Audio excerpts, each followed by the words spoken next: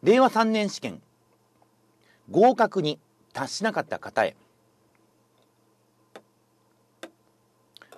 皆さんこんにちは。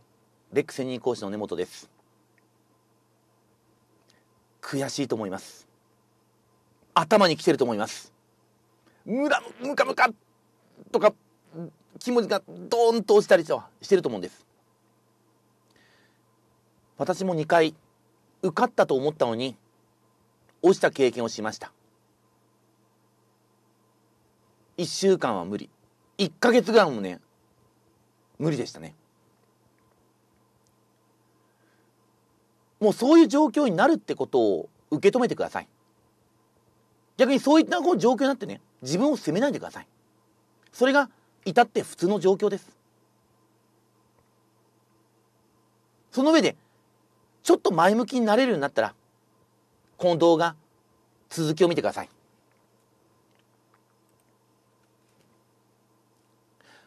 まず本試験結果を見直しませんか？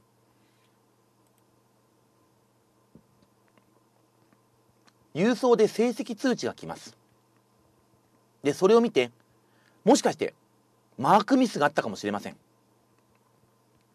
また思った以上に不等法の記述伸びない。小等法があんだけ書いたのに点が出なかったということもあるかもしれません。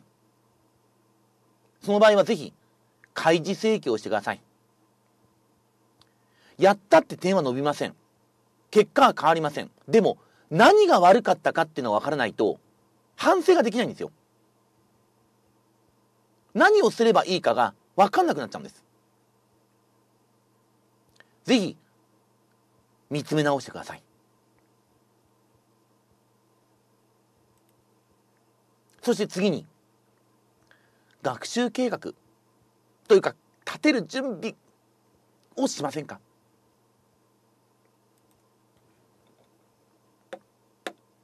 私は2つガイダンスを行います。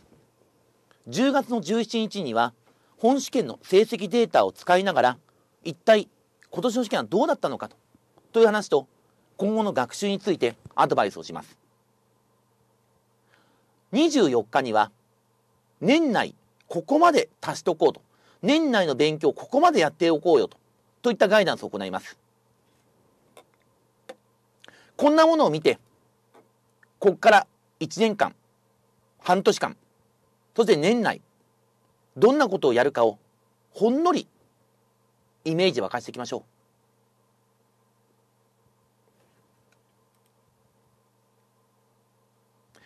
学習がなかなか始めな始められない。もしくは今の自分がどこまで成績をしたか不安になっている方多いと思います。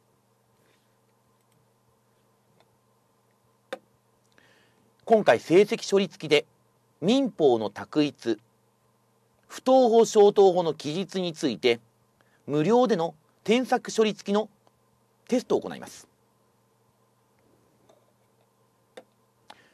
こんなものをやりながらあ民法そんなに落ちてないな。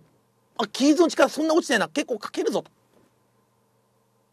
今の状況がどうなのかをぜひ確認してみてください。